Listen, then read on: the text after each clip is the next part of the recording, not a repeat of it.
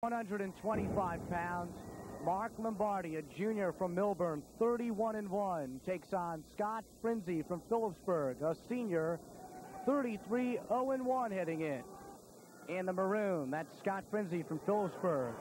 In the blue, that's Mark Lombardi from Millburn. Lombardi 30 and 1 heading in. His only loss to David Packey from Madison Borough. There it is. That's two. That's definitely two. That was a really nice move. I think Frenzi thought he was going to get out of bounds, but uh, with with uh, Lombardi's power, he was able to keep him in bounds and score two takedowns. Lombardi, a three-time district champion, the outstanding wrestler in the district this year and back in 1990. Lombardi must feel pretty confident on his feet. Uh, out of bounds. Uh, getting back to Lombardi's confidence, uh, letting Frenzi go uh, to get back up on his feet, and Frenzi coming back with a shot. Uh, both wrestlers uh, feeling very confident on their feet. That was a really nice double-leg attempt. Lombardi uh, clearing the arms and going deep on a double leg, but again, unable to finish. It still is 2-1 Lombardi. Lombardi, who works real closely with his brother Chris. He was a region runner-up, Chris was, for Millburn in 1988 and 89. And his work seems to have paid off as he's made the state final and now looks for the state crown. Steve, this bout's a long way from being over. Both wrestlers, I think, so far demonstrated aggressiveness and uh, Lombardi with uh, several beautiful attempts. Uh, Frenzi with some great attempts, but uh, both have been demonstrated superior countering ability, and uh, we're, we, we should see some a lot more action. Boy, there's a nice throw by and a finish off. Lombardi with a great takedown. Strong move from Mark Lombardi to go ahead 4-1 here in the second period. 20 seconds left. Steve, that was a great combination. We had a straight single leg attack and then a throw by. Uh, what a combination. So that combination puts Lombardi ahead and in control here at 125 pounds. Three state champions have already been crowned. Lombardi looking to make it number four. Out of bounds again. 11 seconds to go. Second period. Millburn's last state champion back in 1978. It was Paul Finn who won the honor. So it's been a long time in between. And Bill Myron, who was a state champion himself, shouts instructions from the corner. Lombardi will want to try to hold on. He's got two seconds left, in there, there goes the time. Now we've got to sort things out. Did the uh, action that appeared to be a reversal occur before or after the uh, period had run out. Uh, Gary Kessel is confirming uh, discussion stages have taken place, and it doesn't appear that uh, we're going to have a reversal. No change on the scoreboard, so after two periods, Lombardi leading Frenzi 4 to 1. If Frenzi's to win a state crown, it wouldn't be his first.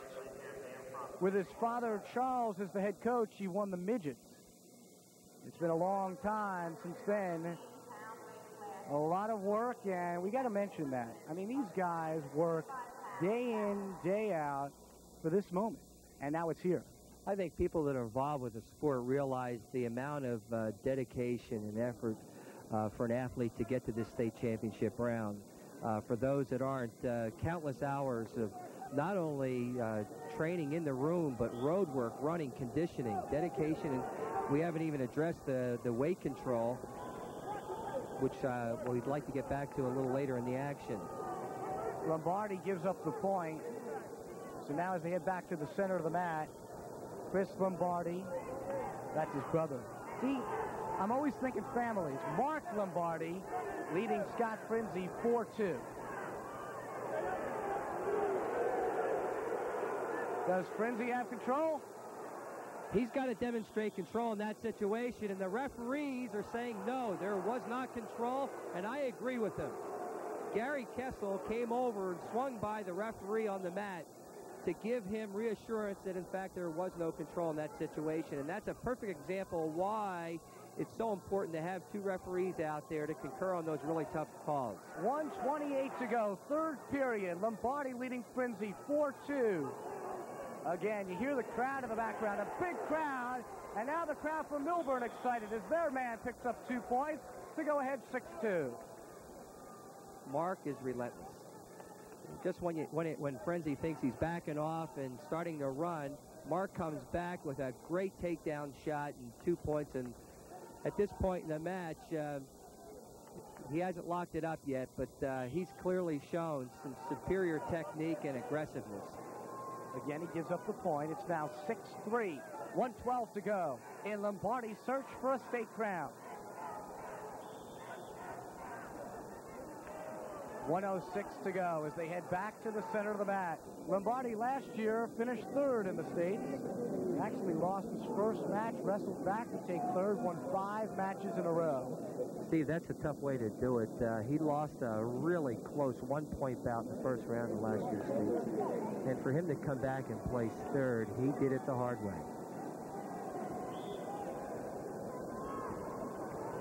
Frenzi, on the other hand, finished fourth in the States in 1990. Scott with 90 career wins. 57 seconds to go. Mark Lombardi is putting together some great combinations.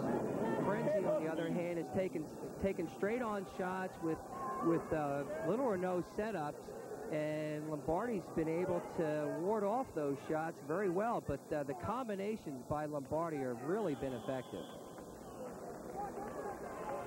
43 seconds to go. And those last 43 seconds, uh, they go by oh so slow if you're a Mark Lombardi. Mark Lombardi has the height in this position. If he can just stay with that height, he's not going to have to worry about Frenzi getting a takedown. 30 seconds to go. Can Lombardi hold on? We'll soon find out. He leads 6-3 here at 125 pounds.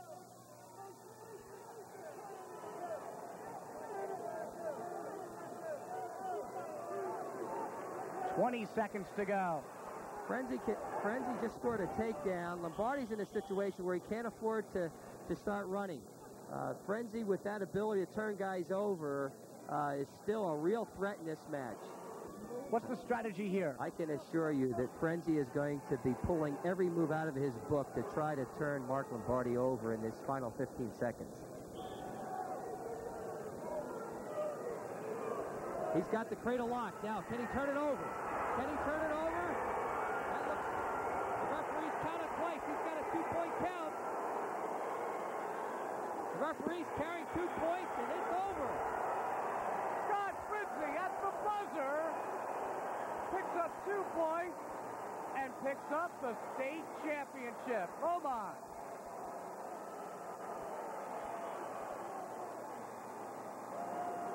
They'll be celebrating tonight in Phillipsburg, New Jersey, thanks to Scott Frenzi.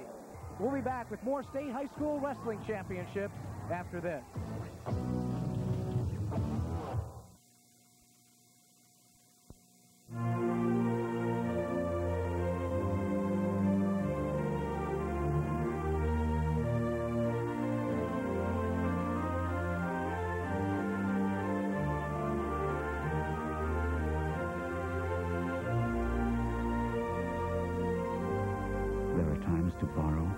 Times to spend, times to save, and times to give. First Fidelity is a proud underwriter of New Jersey Network.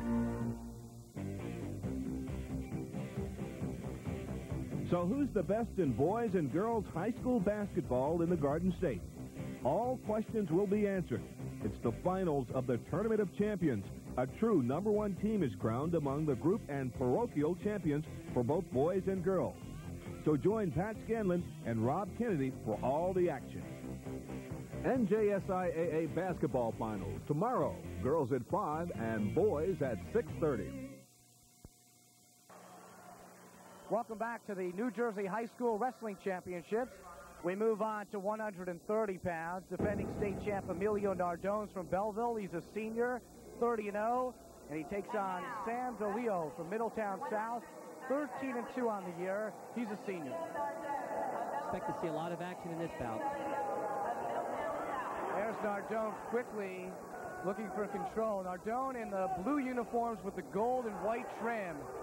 And Nardone looking to pick up some early points against DeLeo, who runs out of bounds. And there's Sam in your picture.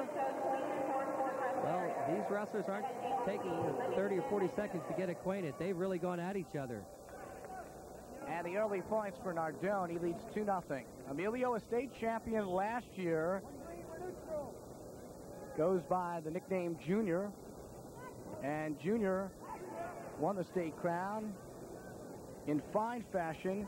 In fact, if he can win a state crown here, it will be three out of four years with a Nardone winning a state championship.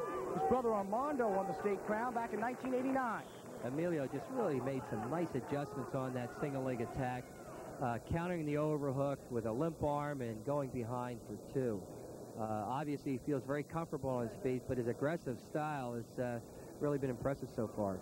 118 to go, first period, and Nardone leads this one 4-1. We're at 130 pounds, and Nardone leads Sam DeLeo from Middletown South.